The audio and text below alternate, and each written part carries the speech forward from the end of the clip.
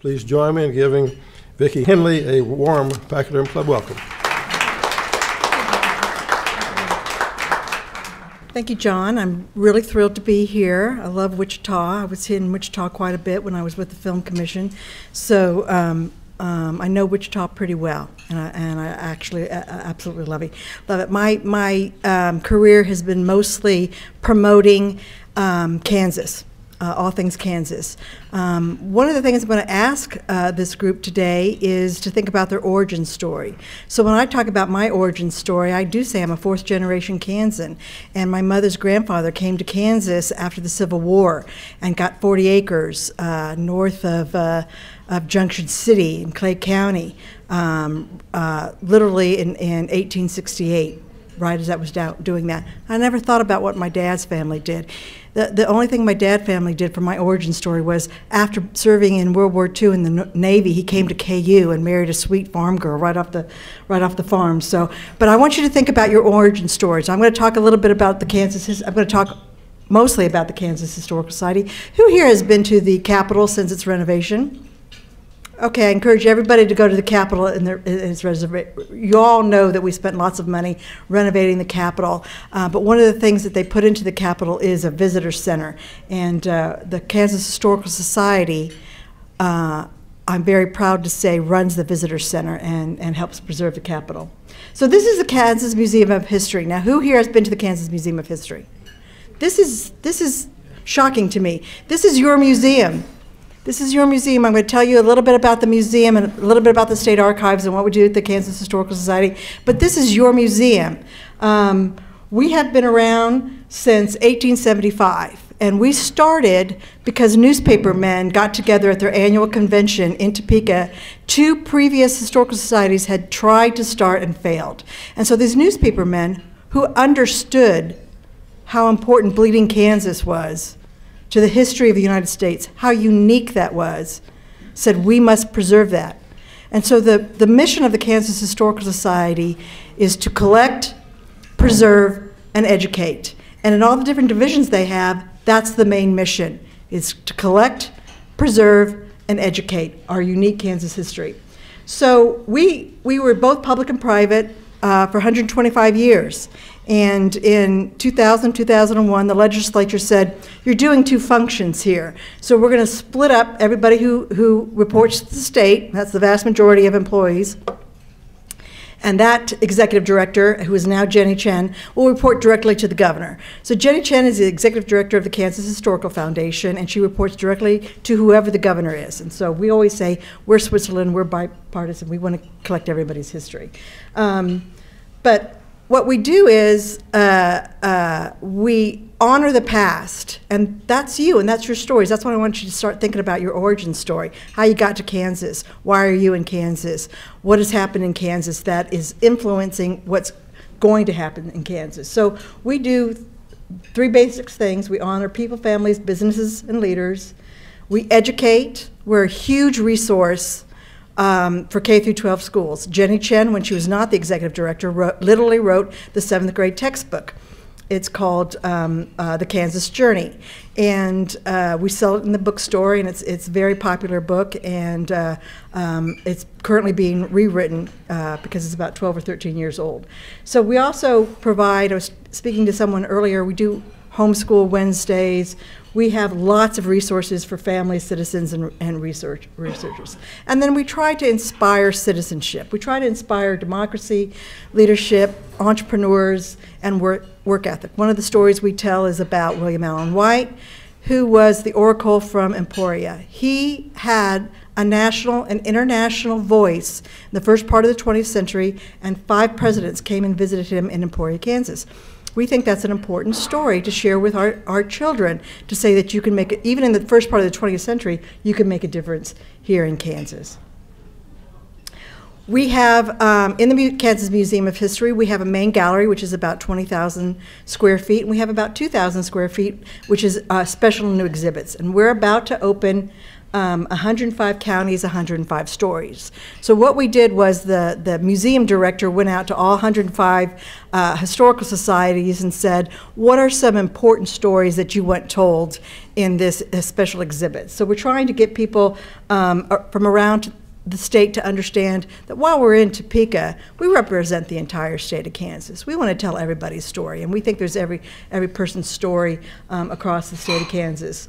We even had a researcher two years ago come to Kansas, and he's doing his entire thesis from France, from Paris, France, on how how come the historical society was gathering um, history from Western Kansas when they weren't there. That's his entire thesis because we did a good job of it. We, we cared about the entire state of Kansas. So, so we do like everybody's history. We want everybody's history. We think everybody's history is important. One of the things we're going to be talking about uh, from Sedgwick County is Major Astro TV show. Who saw that? Okay, more people saw that that has been to the museum. So that'll be one of the things that we talk about. And right now I'm going to talk about three of my favorite artifacts in the Kansas Museum of History. And one of the biggest one is the Cyrus K. Holliday locomotive. Do you all know who Cyrus K. Holliday was? He was one of the creators of the Atchison, Topeka, and the Santa Fe Railroad. He also ensured that the, Topeka, the capital was in Topeka because he donated the land for where the capital was built. So, so Cyrus K. Holliday, um, this artifact was given to us. Um, uh, we were, I, I got I want to go back a little bit and say, we started out as the Historical Society in the, literally in a room in the Capitol. And then we moved to the Memorial Building, which was on that first picture in 1914. And we were in the Memorial Building until 1985. And in 1985, in the early 80s, um, some legislators realized that that property was prime real estate and it was downtown, and the uh, Historical Society was outgrowing its room. And so, meanwhile, someone had donated 80 acres with a Potawatomi Indian mission on it. So we moved, the legislature um, secured funding for a museum, museum I showed you a little bit ago, to, uh, to be created on that 80 acres with the Potawatomi Indian Indian Mission. And one of the first artifacts that we put in the museum, we hadn't finished building the building, was we um, laid the track, they trucked the, uh, the train out there, we laid the track, and we rolled it into the museum. But once they had rolled it into the museum, they realized it was facing the wrong way. So they had to roll it back out, get a crane, turn it around, and roll it back in. So the, so the Cyrus K. Holliday is our big wow for five, six, seven year olds, especially boys. They love the train. And here we have spent probably more than a million dollars refurbishing the train. So if you have not seen the Cyrus K. Holliday train, it's our largest artifact that's not a building in the Kansas Museum of History. And I and invite you to come, come visit us. Who knows who this man is? John Brown, absolutely. One of our prized possessions is John Brown's pike. And everybody know the history of John Brown. John Brown was originally from uh, Ohio. Ohio. His sons came to Kansas because they saw opportunity here. They wanted to get their own land. They came during Bleeding Kansas. And John Brown came to Kansas, and he was a reverend, but he got radicalized in Kansas. He got absolutely radicalized in Kansas. And um, I know Arnold Schofield has been here and talked to you about Bleeding Kansas. Bleeding Kansas is a big deal. We were front headline news for weeks on end, especially in 1856 to 1858. People were getting killed. And John Brown was very controversial, and he, in fact, led a, a, a massacre that killed five men. So we have a, and then of course he went on to uh, Harper's Ferry and uh, tried to take over the um, uh, the arms unit. So we, we have uh, John Brown Pike, we have a lot of things from John Brown, but if you're talking to um, some people, he's a hero. If you're talking to other people, he's a killer. So one of our oldest interactive is the they have a list of all the five things that John Brown did, and it's like, is he a hero or a terrorist? Every time I go into the museum, it's at a different place. Different people think different things about John Brown. But we have his pike, and we tell his story in the Bleeding uh, Kansas section of the Kansas History Museum. Um, another thing we have is anybody know who this is? This is General Custer. He was at Riley and he was at uh, uh, Hays, and his wife, um, Elizabeth, everybody called her Libby was very protective of her history, of his history. So she made sure that we had an, uh, an important artifact of his. So uh, we have uh, the, um, the, the boots of General Custer. This is a, also a prized possession of ours. And this is, everybody knows Ike Eisenhower, I, I certainly hope. But he designed this field um, jacket. They didn't have, they had full army uniforms. And before he came along, he was like, no, uh, generals need, need a field jacket. We need to be, be able to walk around. And so we have his field jacket. Um, I tell everybody that I think Eisenhower is more famous outside of Kansas than he is inside of Kansas. Um, if you've ever traveled to Europe and you go on the on the two-story uh, red bus around London, they they always stop and say, "And here's a statue of Eisenhower." The same thing in in uh, uh, Berlin. He is quoted on a, a very uh, famous sculpture in Berlin, and he has a statue in Paris. So so um, uh, he's one of our favorite is our favorite son um, from the state of Kansas. Um, and then we, we get questions about all, all kinds of things. We have over 115,000 artifacts. So obviously not all of them are, are shown on location uh, in the museum. So we have a massive um, storage unit in the back. Here's again one of the things that we're going to show um, on the uh, uh, on the 105, 100 and 105 counties, 105 stories. Does everybody know the Dockum sit-in story? The Dockum sit-in was in 1958. It was one of the very first sit-ins from Afri African American students. It was the Rexall drugstore downtown, and uh, it was actually successful. So for three weeks in July of 1958, these students came in and sat down, and they and the Rexall uh, drugs across the state of Kansas um, integrated after that. This is what we don't have. This is, of course, Dorothy's slippers. So we don't have Dorothy's slippers, but we have everything else. Yes, sir. We have them in Kansas, though, don't No. I thought they were in the underground museum. no, not to my knowledge. No. Think they have. Uh, now, they could be in private possession in the underground museum. Yes. That, I think yes. there's the MGM display. Uh, that that and if that is true, I need to know about that. Uh huh. And I think they have a shoe. Great. We don't have total. I used to live in Hutchinson, and they, they did have them up there. Oh, excellent. But they're in private possession. Okay, so they're they're not ours. Okay, that's fantastic. I didn't know that. That's fantastic. Well, Mary, Mary Madden, who runs the Museum and Education Division of the Kansas Historical Society, called up the Smithsonian's. These are the Smo- Smithsonian said, "We'd like to display them," and they said, "No, no." Um, a pair was stolen and just was found in the last uh, 12 months or so. So we don't have Dorothy slippers, but we'd love to have Dorothy slippers. Um, a large part of the Kansas Historical is the state archives. Has is anybody a researcher here? A Couple people. Um, you want to come and visit us if you haven't already. Um, we have a very impressive state archives. So early on, when we became the, the Historical Society, that was 1875. In 1879, we got our first funding, and the legislature said, "You will be the keepers of Kansas history." And so we started getting uh, the governor's papers. So we have everybody's governor's papers. We have legislators' papers. We have um, uh, agency heads' papers, and um, we have literally miles and miles of of information in the in the back archives. This is the front reference uh, area. So these are.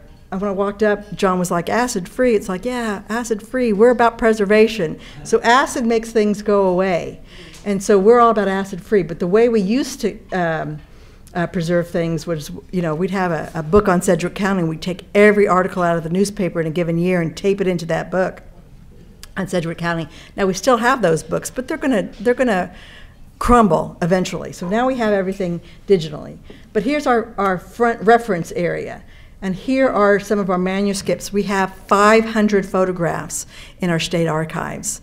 Um, and again, over a thousand, uh, 100,000 uh, different manuscripts. And so we have, there's, there's two aspects of state archives. There's the government records, and then there's uh, uh, manuscripts, photographs, private collections, and we rely heavily on donations. So we have a, a we have several diaries, uh, many many. Excuse me, diaries. We have diaries of women on the Santa Fe Trail. We have diaries of, of just everyday women, just putting what's happening in their life every day into a diary. And so we have records that are pre-statehood. And um, it's quite impressive. We have all of the Supreme Court um, cases in our, our collection. So uh, uh, we just, we just um, uh, recently got Governor Colyer's records, and a year ago we got Governor Brownback's records. Now, it was a lot easier to go through Colyer's records, because he was only there a year, than it was to go through Governor Brownback's records. So we can't keep everything because we don't have the space for everything. And in the, in, the industry norm is that about 5% of anyone's papers have enduring value. So we have people who are trained in the industry, and they have to figure out what has enduring value. Because we keep these in co- climate-controlled um, storage units, and you are paying for that. So we have to be very careful about what we're going to, to preserve. We're not going to preserve that there are donuts in the break room. We're just not going to preserve that. And so, and here's another big item that we had to figure out how to preserve. These are stacked up against the wall, and they are the payroll for the Atchison, Topeka, and the Santa Fe Railroad. And it was its own museum. And so when we received that, we had to figure out, and we did a lot of peer review, talked to a lot of people across the nation and internationally, and said, what should we keep? We can't keep all of it. And so um, they very carefully uh, figured out what to cull and what to keep. And so the war years have been kept. Anything that happened nationally or internationally or locally in the state of Kansas, they kept those payroll records. So those are the Santa Fe uh, payroll records. Some of the largest collections that we have are uh, the newspaper collection because it was it was uh, newspaper people who started us. Santa Fe, we have the Santa Fe collection. We have the Menninger collection. I love to tell everybody that we have both Alf Landon's papers because he was the governor of the state of Kansas, and we have Nancy Kassebaum's papers. And um, we have Nancy's. We didn't have to get Nancy. She chose to give us her papers, and um, she personally loves the, the archives. That's the heart for her for the Kansas Historical Society uh, is the um, the archives. She had a son who has passed away, but he wanted to do a um, uh, a documentary on her, and they were really blown away about what kinds of things we could bring up to show him, both video and paper, about her life in the Senate. And so if you're going to do something about, you know, Kansas families, you have all of Alf Landon's records and you have all of Nancy Kassebaum uh, records in the state archives. So it's, it's, it's a treasure trove of records. We also have, this is the, this is hidden, this is cold storage, and in cold storage we have those things that are um, highly susceptible to, to deterioration. So we have a lot of films, and uh, the one thing in our collection that is most valued, I think, by every employee is the Constitution of the state of Kansas. Well, we have the original Constitution of the state of Kansas. I remember walking in there, and I wasn't with Jennie. Um, and when we go behind the scenes, we're very respectful of all the items. We're just stewards.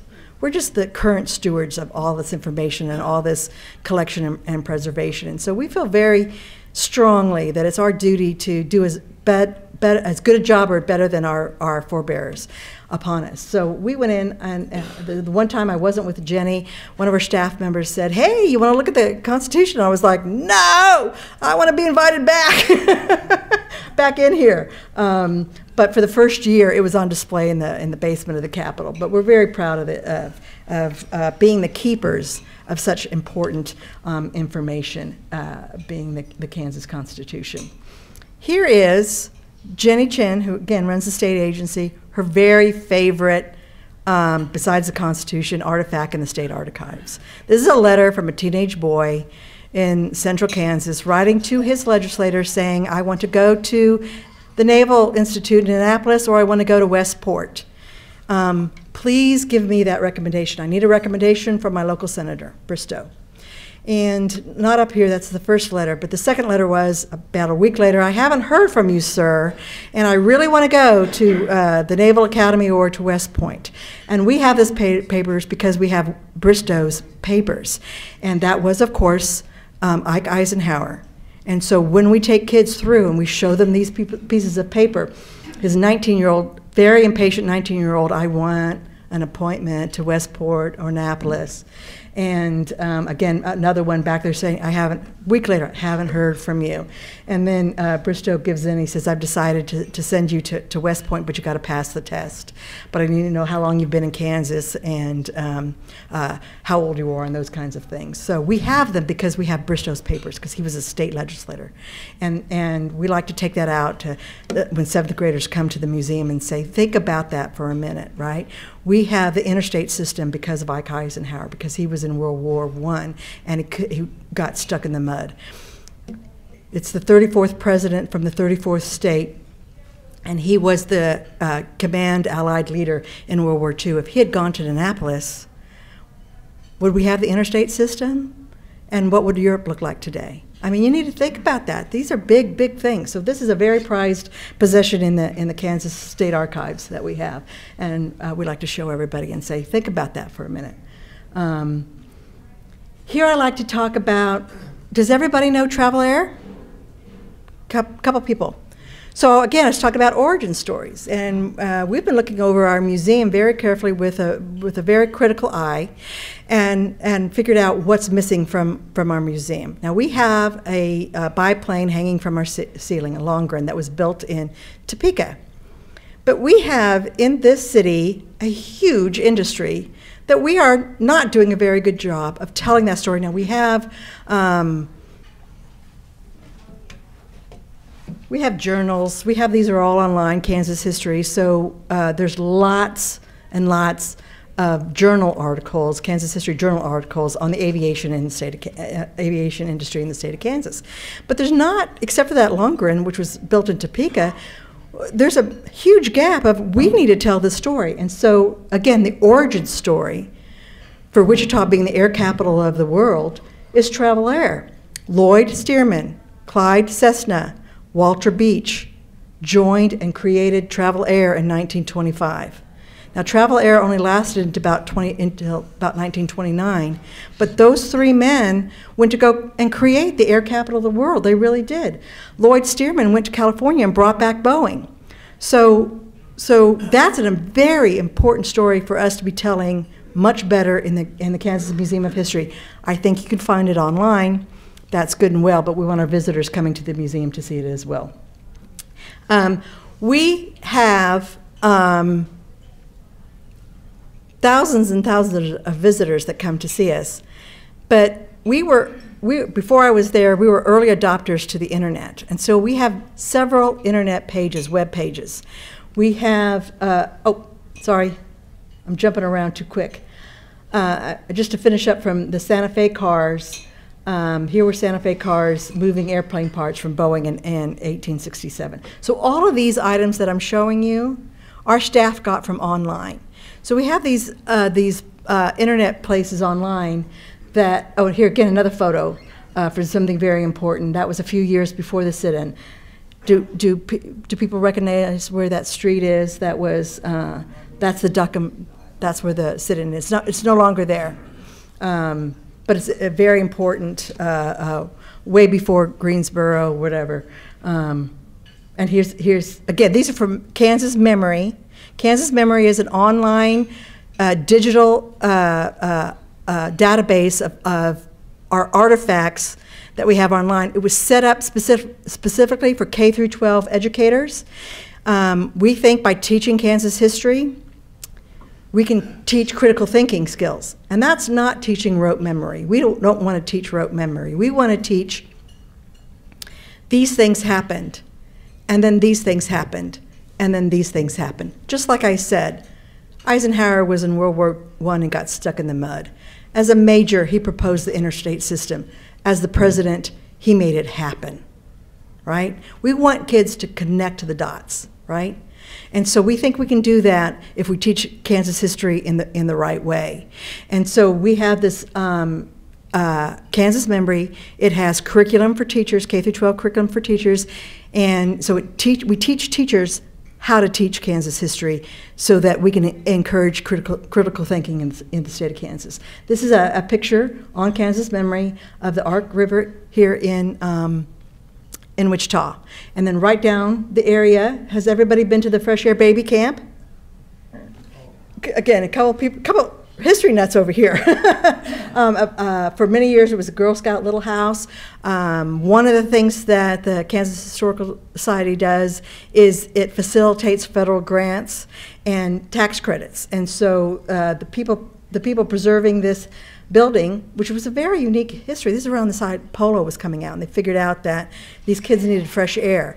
So um, sometimes it was a little cold in there, but but it, it saved, um, I think, many many babies' lives, um, and and we helped. Um, with tax credits and, and grants, and so that is on the Kansas Register, and uh, hopefully, when it's completely uh, renovated, it'll be on the National Register. Here's where I was getting to: was Kansas newspapers. So, one of the top collections that we have is newspapers. We have we have researchers from all over the world come to uh, uh, research in the state of Kansas because of our newspaper collection. When the newspaper men got together, they said this is a very unique thing that's just happened.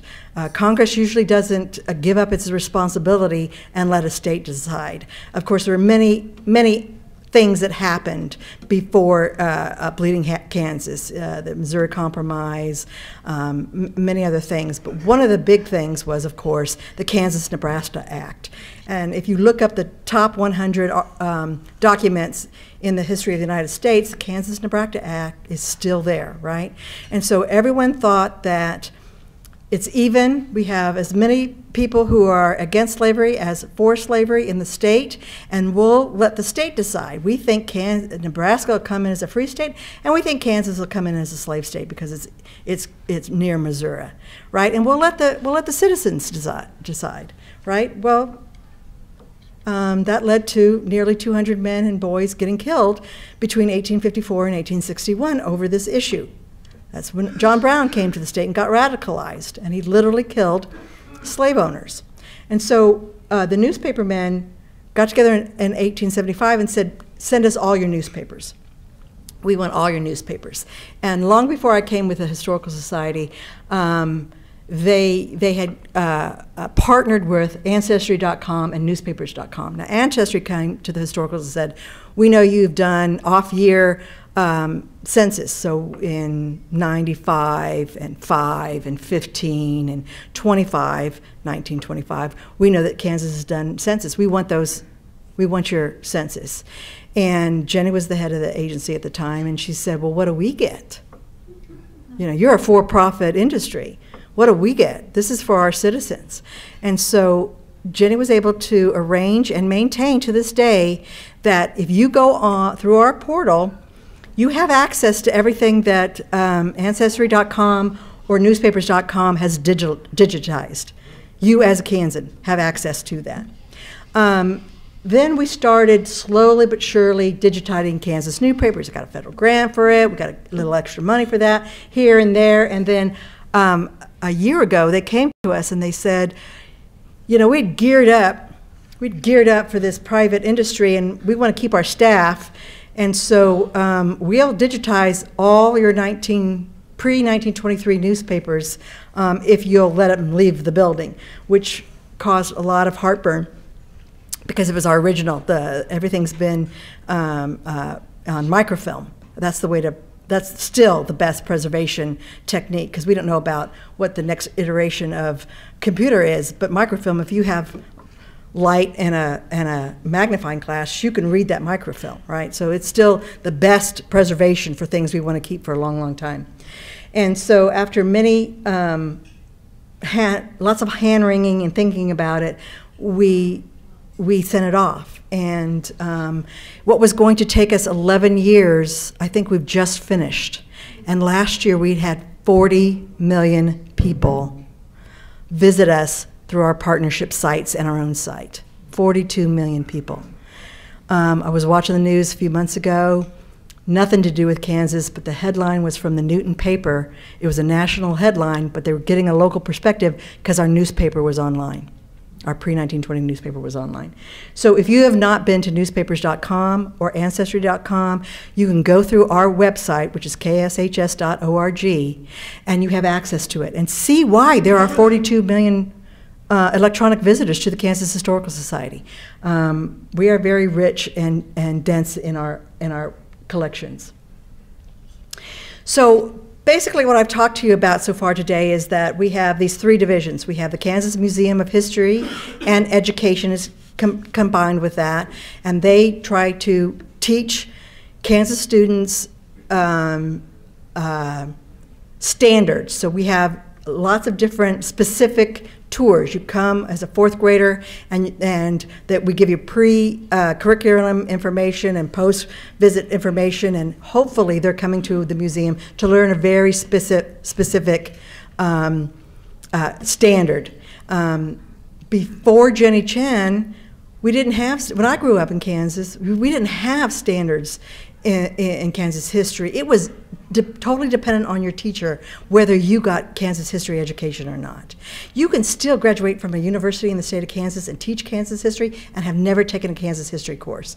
So we are the go-to place to teach the teachers how to teach Kansas history. Um, but we also do many other things. So I talked about Museum of Education, then I talked about the state archives and the IT, and that's making a huge impact. And the last division I want to talk about is cultural resources. Cultural resources does several things. They have historic sites. Um, every time Jennie and I come to Wichita together, she's like, why didn't we get a manufacturing, an aviation manufacturing plant? When they were, you know, in the 20s or 30s or 40s. We need we that would have been a great historic site. So she laments that we don't have that site. Um, in Wichita, Kansas, because that would have been a really great site. But Cultural Resources has historic sites. There's 16 state historic sites across the state of Kansas, and the one we're missing here in Wichita is a manufa- aviation manufacturing plant. Then we have um, archaeology, so that's federally funded. So what the archaeologists do is, um, if they're building a road this is why it's federally funding. And they come across uh, human, anything human, artifacts, whatever. Then the architect has to go out and say, yeah, this is 50 years old, go ahead and build your, ro- your road. Or, no, this is 200 years old. This is a Pawnee Indian uh, um, village that these people broke off from the regular Pawnees and they wanted to they wanted to trade on the Oregon Trail. So they moved away from Republic County, what was then Republic County, what is now Republic County, and they came to Topeka because they wanted to trade with everybody on the Santa Fe Trail. Santa Fe Trail, big big story of, of, of Kansas, and so um, so the archaeologists go and we got federal grants and they mitigated the site. So again one of the new things that we need to tell in the, in the museum is what did we learn? What's the research that we learned for two years of mitigating that site? And now there's a bypass on Highway 24 for Fools Camp.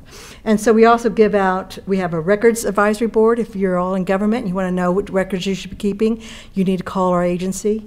Um, we're the leaders in that. And so we give out, we give out historic preservation grants, we give out um, uh, uh, tax credits and, and the such. Um, this is what we're going to be doing here soon. Uh, Tobias site is in near Lyons in Rice County.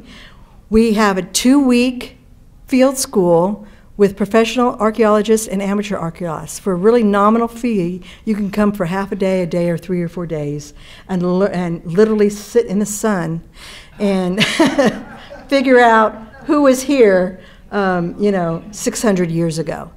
So it's very exciting. We also we always have a professional uh, person who's going to do the study because we need to learn something from doing this. We're not doing this just for fun. We're doing this to learn something new. Um, so I, you know, when I started working for the historical society, I thought, oh, you know, slow pace. You know, no, history is happening every day, and we're learning things every day, and we're producing. Um, literature every day, and, and we're learning about that. So this is going to be, be and uh, you can learn more about it on our website, but uh, the Tobias site uh, uh is the ancestors to the Wichita. Um, and affiliated tribes. So we're going to try to learn more about. That's a state-owned site um, uh, uh, now, and I think the next one is my commercial. So I'm getting towards the end. Yes, it is.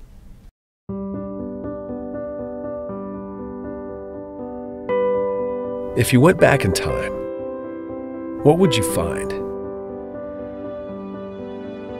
If you looked into the future, what would you see? Not a point on the map or a collection of things. It would feel more like a story. One that unfolds over generations what about strength? Courage.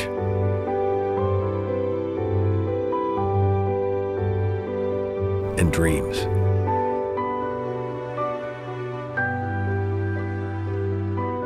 A story about people leading the way, not so they could go far, but so the next person could go even farther.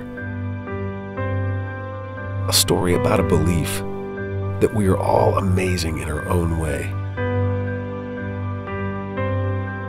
headed towards the same amazing future. Because we all come from the same amazing place. A place that we call Kansas. Please help us share this ongoing story for centuries to come by supporting the Kansas Museum of History.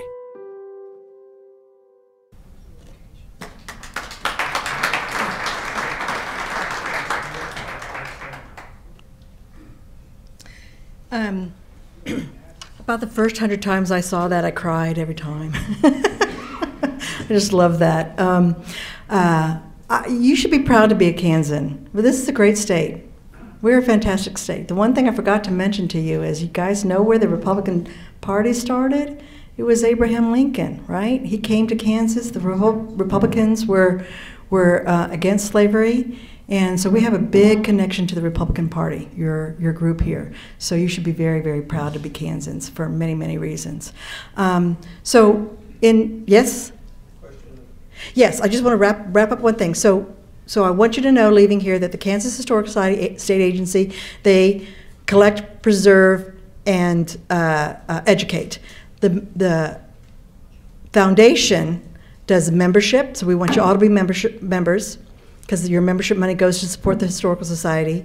We do publications of Kansas history. This is what members get. We do. We're like very much like a foundation for the university. So there's uh, Wichita State University, and they have a foundation. So Jennie Chinn, I think, and her people are like the university, Wichita State University, and I'm like the foundation. So I try to raise money um, uh, to do things that we can't do uh, because obviously they are a state agency and they have been cut drastically, but um, we do they do good good work. So those that's the difference is. Jennie Chinn is educational institution, preservation collection, and I'm the foundation, which is alumni and economic support for them. I'm happy to, I'm very happy to have been here, and I'm happy to take some questions now. Thank you. Okay. Well, we certainly appreciate the opportunity to speak with our guests. Uh, we have about 14 minutes, and so we'll be around. We'll starting with members first, and we've got a couple of hands raised, one back here, and then it'll be up to you. And get Um, one of the reasons you probably can't get one of the old aircraft factories as well, part of your museum, they still exist. They've been consumed and surrounded by the existing plants. Yes. That uh, travel air building that you showed is actually part of the Beechcraft buildings. Yeah. I've been in it, the walls are still there, it's still the same thing. Cessna's buildings out on Bonnie with the original buildings that the Clyde Cessna built, they then eventually built furniture in and Mhm. back to airplanes. Yeah. And same with uh, Stearman, the, it's the part of the B-29 uh, factory, which is now also the 737 factory, so they're all still there. We just haven't archived the fact that those walls still exist and have stories locked within them. Right. Um, Another thing I wanted to ask about, what's the effort in, in course of aviation beyond the, inside our borders? We've had a lot of people that, you showed one of the astronauts, um, Joe Engle, for example, Steve Hawley, um, are, they're somewhat archived in the uh, Hutchinson Cosmosphere. Was there an effort to cooperate with them to to recognize all the people that have gone from Kansas to made achievements in aviation? Well, let me let me tell you that um, when you go into the museum right now, it's in chronological order, and we tell every story under the sun. Well, Jennie and all of the people that all across the state, she works very closely with all educators from all over. We have they have that group of people of educators have been able to, to figure out that there are eight Kansas themes in Kansas history that are unique to the state. So we want to do the entire museum with what is unique to Kansas. We just took out a Victorian cabinet every museum you have goes to a Victorian cabinet. If we have a Victorian cabinet, what happened in that era that was unique to Kansas history? And we have a lot of those stories. William Allen White said if it's going to happen in this country, it's going to happen first in Kansas. And that's true. We have great stories to tell. So we're in the middle of reimagining what that looks like. I, I anticipate that we'll be telling all those stories, but one of the things we want to do is have a wall of, of Kansans. And there'll be the astronauts, but there'll also be the people in this room.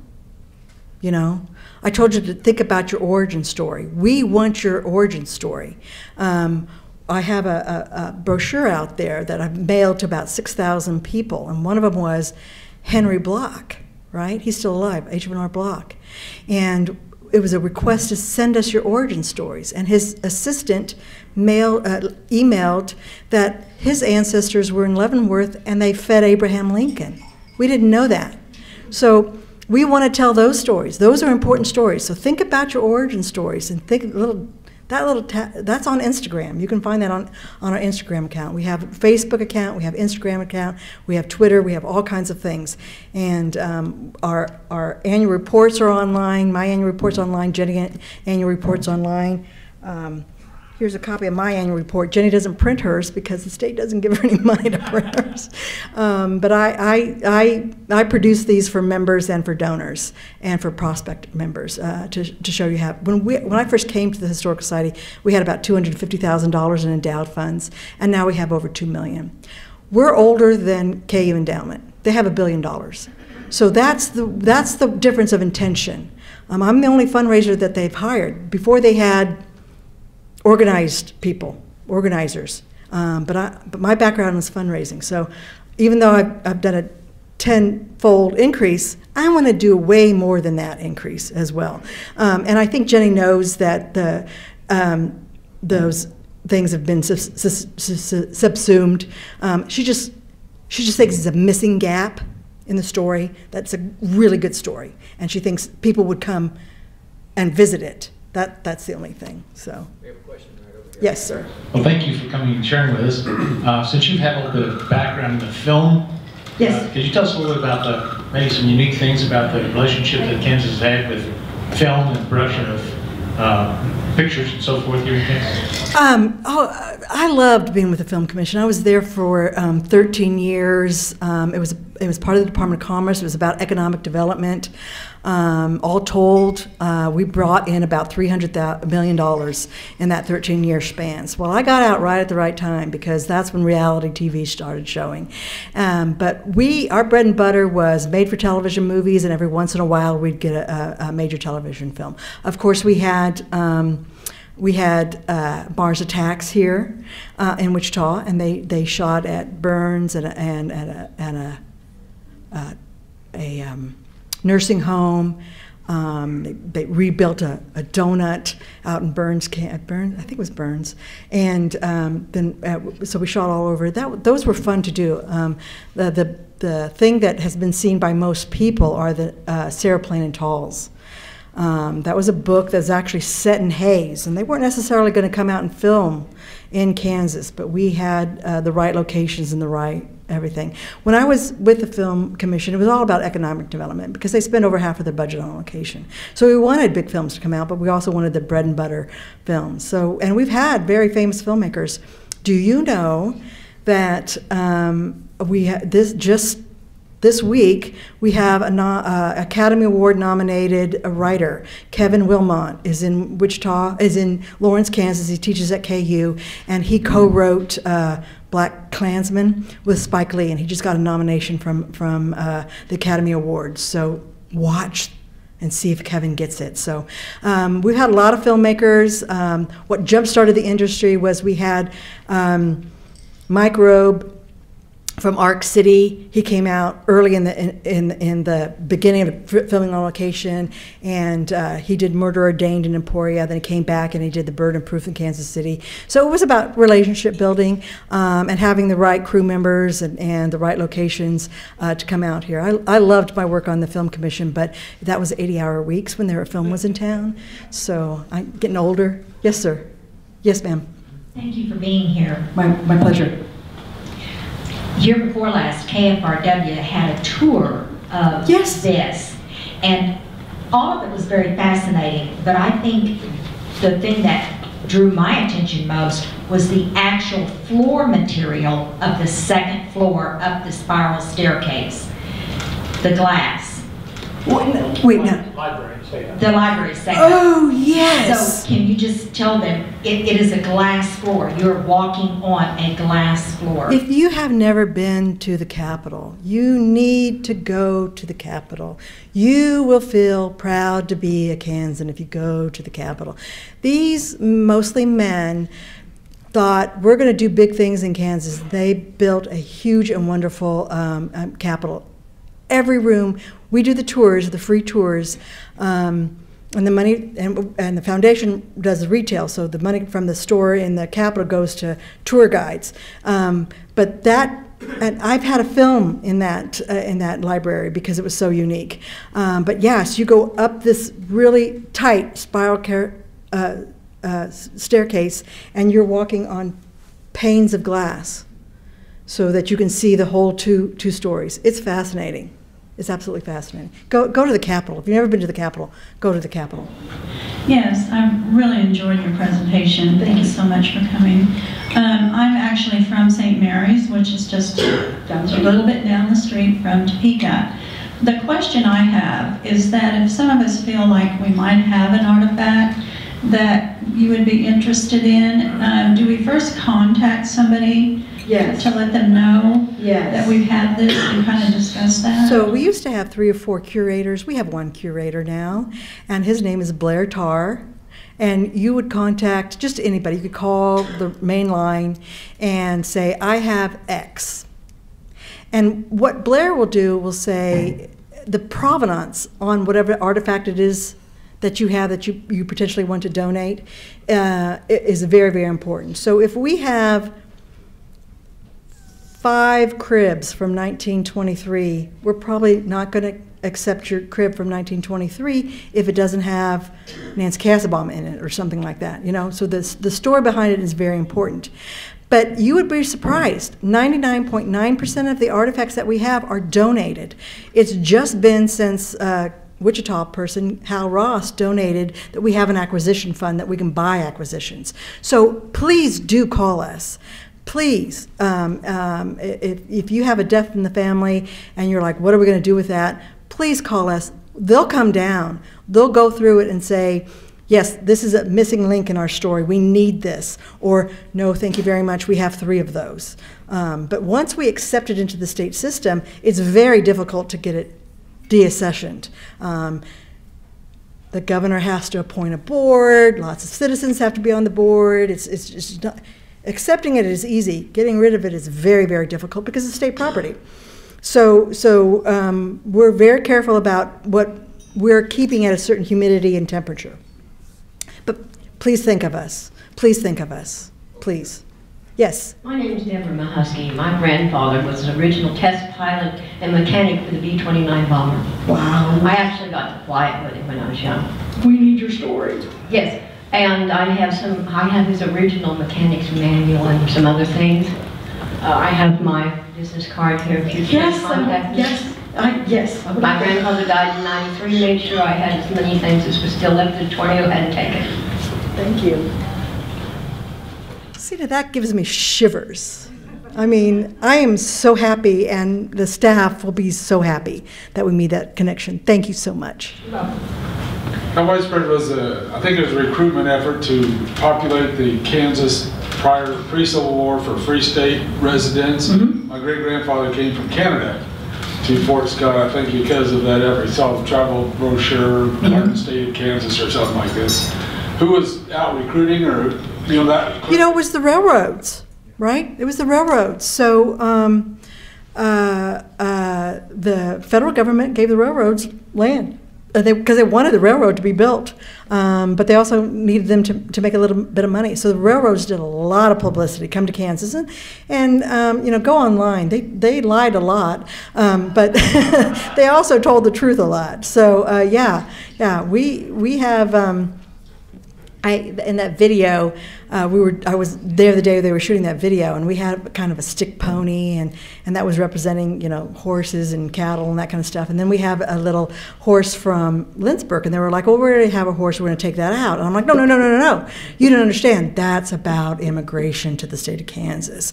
So all of those items in that commercial represented, you know, something very important about Kansas history. You know, Sprint started in Abilene, Kansas. A ha- half of all of Sprint started in Abilene, Kansas. You know, we need to tell those stories. We need to be proud of those stories. Before you leave, you need to go in the next room, look out the window at the Ambassador Hotel, because that's where the and Drug Store was that you were telling us about in your presentation. I've, I've been there. I had a drink there with someone. It was fantastic.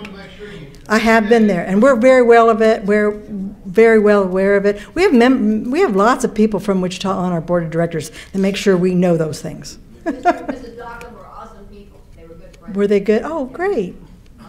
One last question. Do you have an affiliation with the Smithsonian? Uh, yes and no. So um, they know who we are. We know who they are. Um, we did um, a site, Nicodemus. We excavated a site in Nicodemus, and they very much wanted uh, for the new African American Museum to put in. Um, uh, some of our artifacts. So we have lent them those artifacts from our, our archaeology training programming in Nicodemus. So yeah, we work with we. Uh, the, the other thing I, I just can't leave without saying one of our best uh, uh, artifacts in the museum is we have um, Civil War flags, and so we have the best collection in the nation of Civil War flags. We actually have the best collection of African American troops Civil War flags, and it's four. And so we lend those things out after a lot of insurance and a lot of, you know, uh, art people doing the traveling. We, let, we, we do lend out um, artifacts to everybody else. But we have great collections, so please come and visit us. Join me in thanking Vicky Henley. Thank you.